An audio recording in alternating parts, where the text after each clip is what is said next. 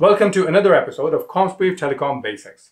In this video series, we'll be talking about the most basic telecom terms in the simplest possible way.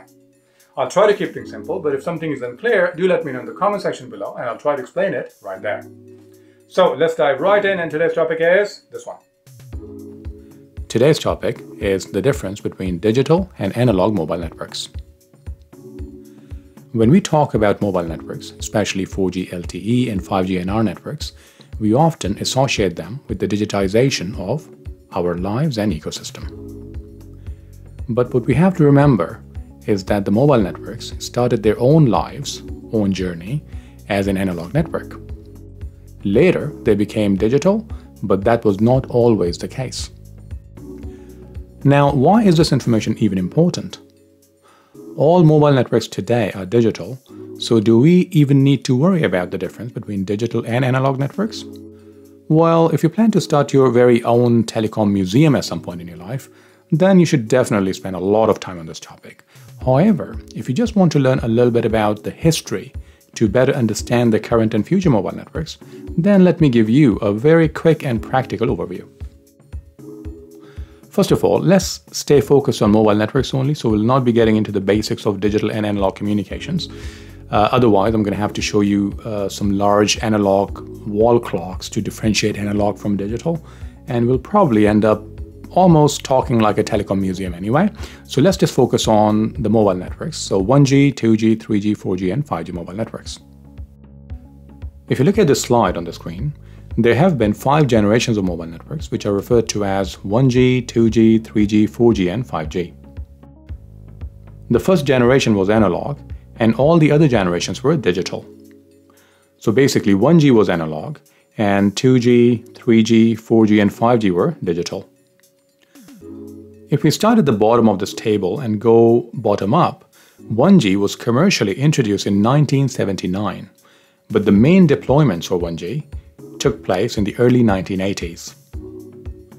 The first generation networks used a range of analog technologies including AMPS, Advanced Mobile Phone System, NMT, Nordic Mobile Telephony, TACS, Total Access Communication System, JTACS, Japan or Japanese version of Total Access Communication Systems, and C-Netz Radio Telephone Network C. AMPS or Advanced Mobile Phone System started in the US and was adopted as the 1G analog standard by various other countries. In the UK, for example, TACS or Total Access Communication System was used, which was a variant of AMPS. The Nordic countries used NMT, Nordic Mobile Telephone, Germany used C-Netz, Radio Telephone Network C, and Japan employed JTACS, the Japanese version of TACS. But the early 1990s is when things started to change big time. This is when the second generation mobile networks marked the beginning of the digital era of mobile communications. The most prominent technologies in 2G are GSM, Global System for Mobile Communications, D-AMPS, Digital Advanced Mobile Phone System, and IS-95, Interim Standard 1995. So IS-95 is the CDMA network, uh, which was very popular in the US, for example, and commercially it was called CDMA-1. From there on, 3G technologies like UMTS, Universal Mobile Telecommunication System, and CDMA 2000, uh, so these are the 3G ones, and then the 4G technology LTE and the 5G technology NR have all been digital.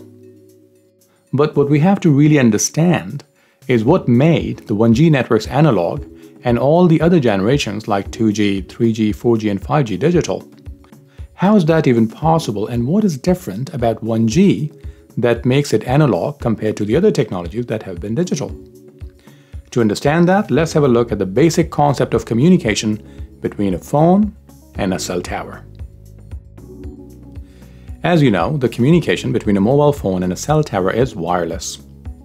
That means that all communication takes place over the air. Yes, you heard that right. The air, the fresh air that you breathe. This air in telecoms is also called the air interface. See what we did here? Now, all of a sudden, even air seems like a high tech thing. Uh, but uh, anyway, but that's not the point here. So let's just focus on the air interface now. So on the left side here in this picture, we have a cell tower or base station, and on the right side, we have a mobile phone or cell phone. The radio signal that the base station sends to the phone, or the phone sends back to the base station, is always analog. Yes, the radio signal is always analog, no matter which technology we talk about 1G, 2G, 3G, 4G, 5G, or even when we have 100G, the radio signal will always be analog and it'll never be digital. Why? Because real life follows the laws of physics and the radio signal exists in the physical world and it has to follow the physical rules which are analog. Now, what makes a technology digital is what happens inside the base station and the phone. That is where the communication is processed, packaged, and modified. If digital techniques are applied to the communication inside the base station and cell phone, then the communication is digital. And on the other hand, if analog techniques are applied, the communication is analog.